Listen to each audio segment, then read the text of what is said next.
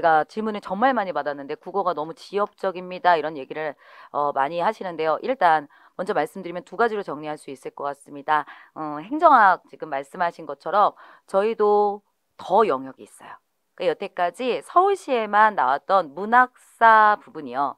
그러니까 저희가 1960년대 작품으로 알맞은 것은 이런 게 나옵니다. 그건 아. 여태까지 서울시에서의 문제 스타일이었는데 국무원에서 똑같이 그런 문제가 나옵니다. 그거는 정말 지엽적이죠. 왜냐하면 1960년대 작품을 외워야 되는 거기 때문에 굉장히 지엽적인데 그런 한 문제 정도가 나오는데 여러분 이건 서울시에서도 마찬가지로 그때 어떻게 공부를 했었냐면 주요 작품 위주로 나와요.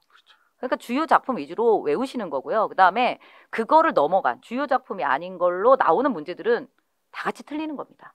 그걸 위해 그것 때문에 막 너무 지엽적이어서 전 공부를 못 하겠어요 하는 거는 좀 어리석은 그런 거고 그냥 우리가 할 수 있고 최대한 외울 수 있고 문학사 부분에 영역이 좀 더 있는 거에서 그 영역에 대한 공부를 좀 더 해주시면 되는 거지 그렇게 많이 고민할 이유는 없습니다 여러분 그리고 두 번째로는 어 이쪽이 저희가 구몬 쪽이 공무원에 비해서 뭐 표준어라든가 맞춤법이라든가 이런 것들이 좀 더 세세하게 나와요.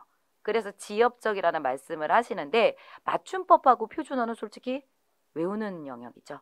그래서 우리가 만약에 물어본다고 한다면은 우리가 뭐 돌불이냐, 돌뿌리냐, 뭐 이런 거를 외우셔야 되거든요. 선생님 여기서 한번 여쭤볼까요?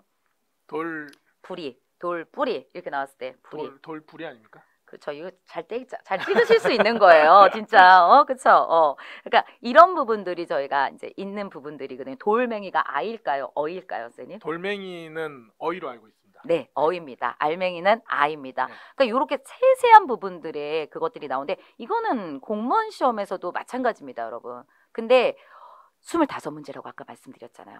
그러니까 공무원에서는 한 문제가 나온다고 한다면 여기서는 그런 문제가 두세 문제가 나오는 거예요. 그러니까 좀 더 지엽적으로 느껴지지만 결국은 같은 겁니다. 공부의 방법은 같아요. 그러므로 결론적으로 지금 말씀을 드리면 고 군무원 국어는 여러분 공무원하고 똑같이 공부를 하시면 됩니다. 그리고 어법, 맞춤법 이런 거에 좀 더 신경을 쓰시고 문학사라고 하는 좀 더 특이한 영역이 있습니다. 그 부분에 대한 공부는 주요 작품 위주로 더 하시면 됩니다.